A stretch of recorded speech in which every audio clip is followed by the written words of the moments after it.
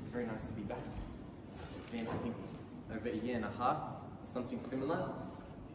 Was the last time I prayed in CIC. Maybe uh, put it close in the middle, yeah.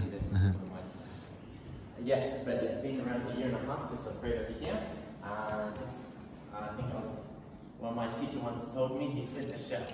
And from that chef, he inspired me to travel the whole world. When he says, تغرب عن الأوطان في طلب العلا ففي الأسفار خمس فوائد تفريج هم واكتساب معيشة وعلم وآداب وصحبة ماجدين. And it was an advice letter from my teacher. I took it and I traveled the whole world with that advice, understanding the parts of that home, understanding what does it mean, صحبة ماجد. What does it mean by تفريج هم all those commands. But like I said, a big assalamu alaikum wa rahmatullahi wa barakatuh. It really is nice to see you. As Brother Bilal mentioned, the youth night, but again, we can all take the advice because the advice, it applies to all of us.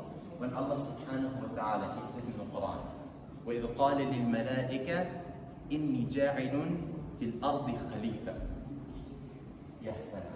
That when Allah subhanahu wa ta'ala, He says in the Quran, and in front of all the malaika, and He says that I am going to put a person and a people that are going to be ruling this world. They're going to be the people with the power in this world. And when we say Alhamdulillah Rabbil Alameen, we understand from that verse that we, the human beings, are not the only world. There are the world of the animals. There are the world of the jinn. There are the world that so many different worlds we have in this one earth that we live in. And then Allah subhanahu wa ta'ala, He says, out of all these different worlds that we're going to be in, all, all the worlds that are comprised that are going to be in this earth, the kings of this world, the ones who are going to lead this world, they're going to dictate the rules of this world, the ones that are going to come up with the big projects in this world are the human beings. And that by itself is a big shock that Allah subhanahu wa ta'ala has given to the human beings When Allah subhanahu wa ta'ala says in the Quran, وَاسْتَغْفَرَ لَكُمْ مَا فِي السَّمَاوَاتِ وَمَا فِي الْأَرْضِ جَمِيعًا مِنْ When Allah subhanahu wa ta'ala says He subjected everything in this earth and everything in the heavens, all of it, for the human beings, it is a shock. It tells us that we are going to be the people that are going to be constructing these world, this world that we live in. We are going to be the people with the big projects in this world.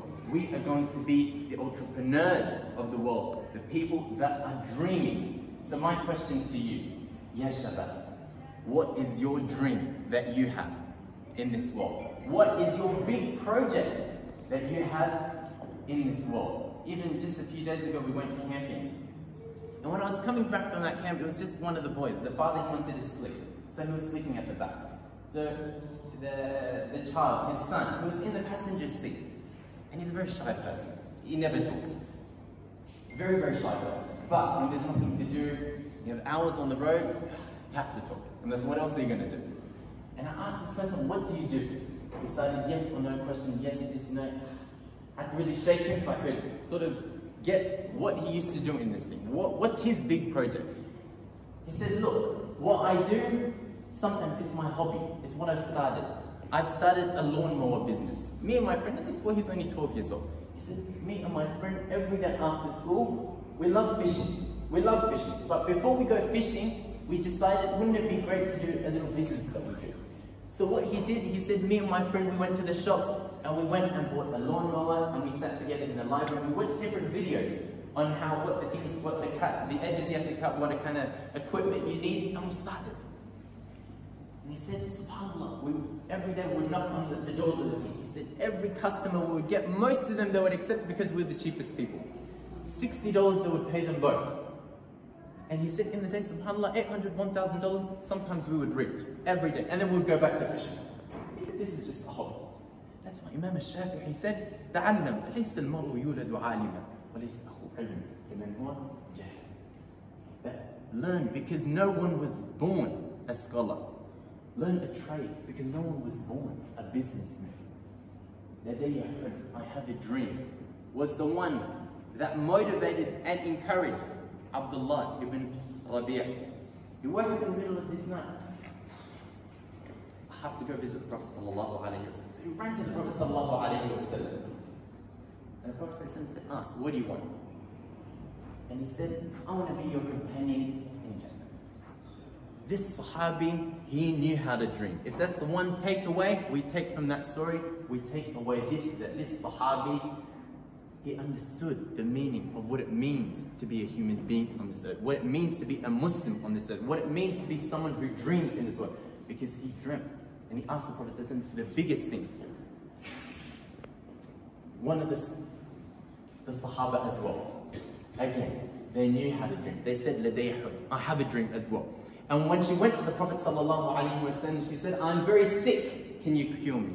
And the Prophet wasallam, he said, look, if you want, I can ask Allah subhanahu wa ta'ala to cure you and she will cure you. But he said that if you be patient, then you'll get Jannah. So this, she said, no, from that, no, no, I'm not going to ask. My dream now is to be patient. My dream is now I'm going to get Jannah now. My dream, all this pain, all this suffering I'm going to endure because this is my dream. The day I want Jannah.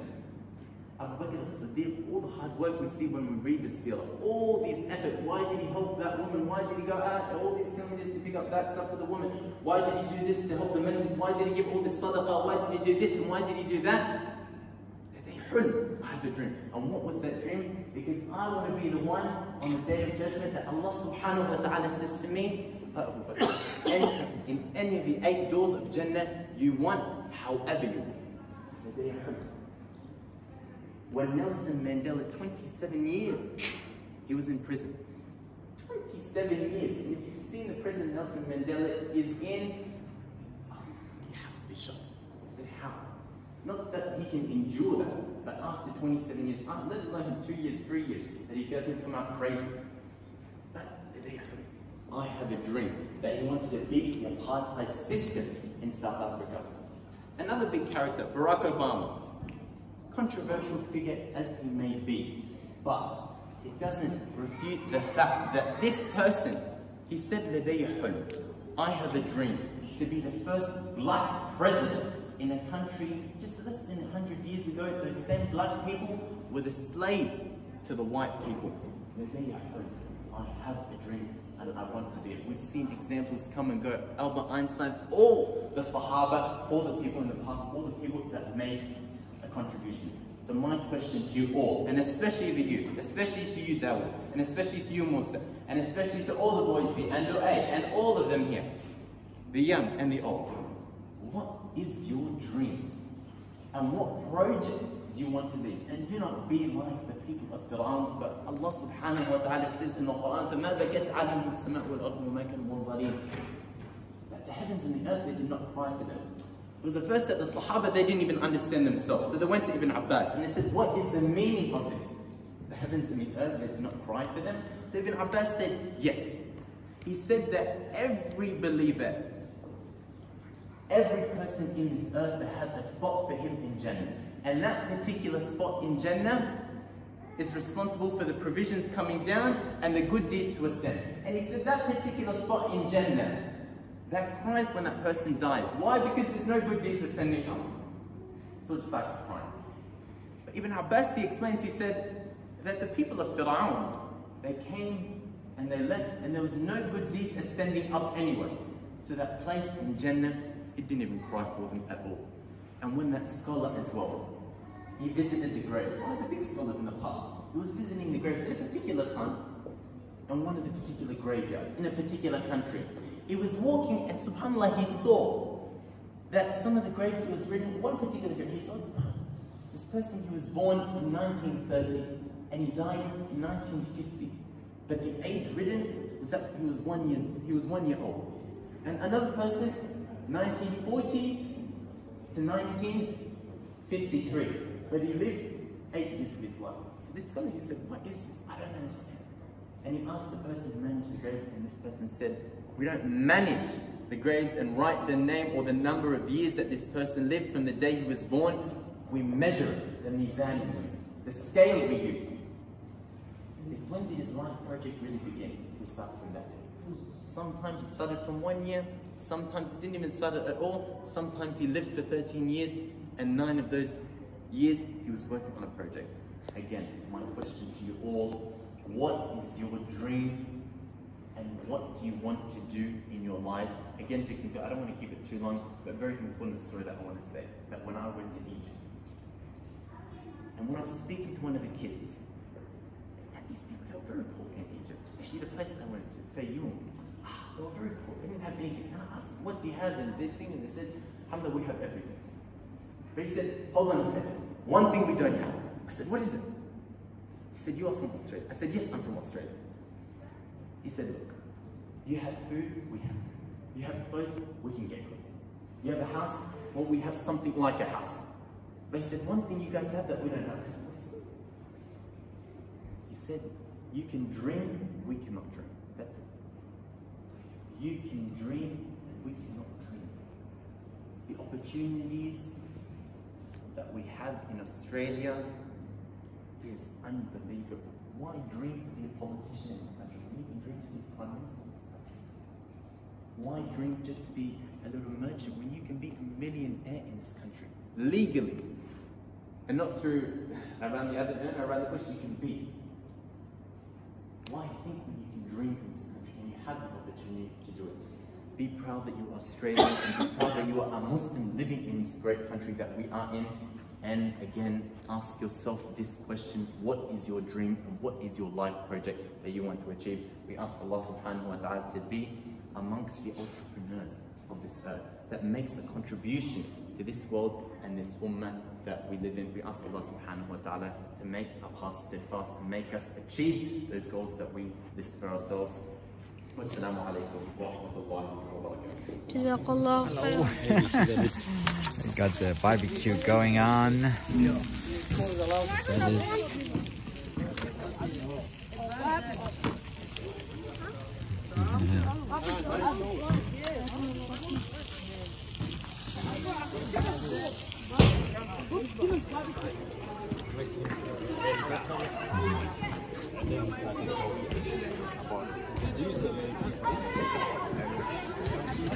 Getting more customers.